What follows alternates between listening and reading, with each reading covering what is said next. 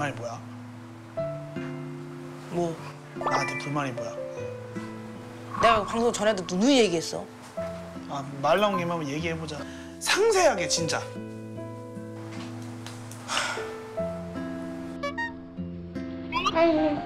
아니래.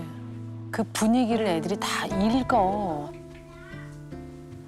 내가 말했지 대리라고 하지 말라고. 대리? 어머님 어머님도 이제 이제는 어 대리 대리 거리잖아. 내가 그 기분 나쁘다고 했지. 대리가 뭐야, 대리? 돼지 해리. 돼지 해리.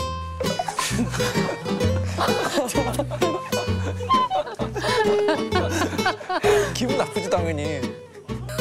그, 그래, 그건 좀 아니 여기 저기 이제 상처야 애칭인가? 상처야. 돼지 해리. 아, 음, 그게 짜증났어? 아, 그럼 말을 하지, 평소에도. 말을 평소에. 말을 했는데요. 기분 나쁘다고 얘기를 안 했잖아. 아, 난 몰랐지, 그거는. 어머님이 너는 왜 맨날 대리냐고 대리 대리냐고 하냐고 했을 때 네가 편해서요. 내가 나 그거 싫은데 어머니 앞에서 대놓고 얘기했어. 그랬었어? 아, 미안. 나, 나, 나도. 아버님도 하지 말라 그랬어 그 옆에서. 알았어, 알았어. 안 할게, 안 할게. 근데 신경 안 쓰는 줄 알았는데 그거에 대해서 기분 나빴다고 하니까 저는 전혀 몰랐던 거예요. 전혀 생각 없이 그렇게 말을 하고 다녔다. 아유 저렇게 눈치가. 없었어. 귀여워서 그렇게 불렀어요? 본인은 애칭이라고 생각하고 부른 거예요? 돼지 해리를? 돼리를? 좀, 좀 편하게. 편하게? 네, 편하게 부르려고. 귀여우라고? 네. 근데 본인은 듣기 싫었대네. 그럼 귀요미라고 불러요. 귀여우면. 아, 여태까지 그렇게 성- 짜증나게 해놓고선 이제 와서 더 짜증나요. 그냥 냅뒀다가 내가 아까 는 미안했어 이러면은 아 그래 그래 뭐 이러는데 바로 그 자리에서 사과를 해버리면은 아 언, 언제 어쩌라고 이렇게 나와버리는 거예요. 아니 근데 방금 영상 본 그날 혜리 씨가 유, 유독 윤배 씨한테 화를 좀 많이 내시는 것 같더라고요. 그동안 윤배 씨한테 뭔가 쌓인 게 많으셨나?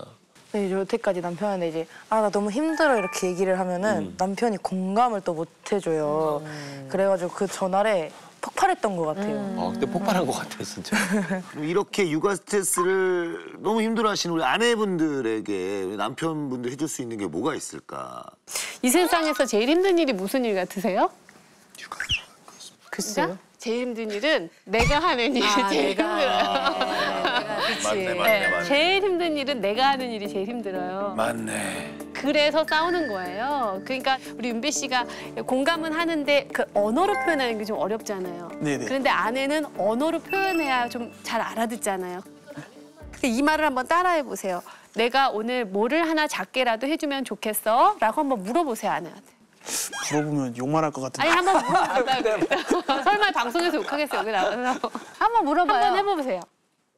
내가 작게라도 뭐 하나 해줬으면 좋겠어. 공감 좀 해줬으면 좋겠어 말이라도. 응. 공감을 어떤 식으로? 어떻게 받으면 좋겠어요, 공감을? 오늘 너무 힘들어서 아 오늘 너무 힘들었구나. 내가 도와줄게 이런 식으로. 아, 그런 게 있어요. 나 너무 힘들었어. 그럼 남자들이 왜?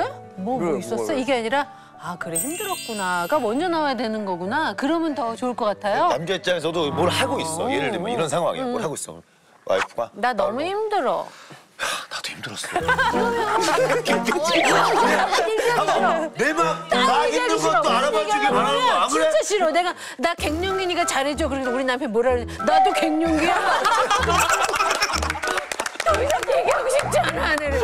진짜 그- 이게 딱 그 거기서 선생님 대화가요. 딱 끊어져요. 근데 지금 그것도 좋아요. 예를 들면 나 오늘 너무 힘들었어 그러면 나도 힘들었어를 말하고 싶잖아요. 그럼 그 말을 하면서도 공감을 할 수 있어요. 예를 들면 이렇게 아 나도 힘든데 당신도 오늘 힘들었다는 얘기네. 이러면 돼요. 아 그렇구나.